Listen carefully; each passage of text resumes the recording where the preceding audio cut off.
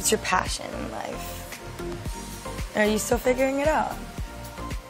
Yeah, I don't know. I don't know if I have a passion for anything particular. I love a few things. Yeah. I, call- feel like I, would have never gotten to have this conversation with you if I didn't make the move first.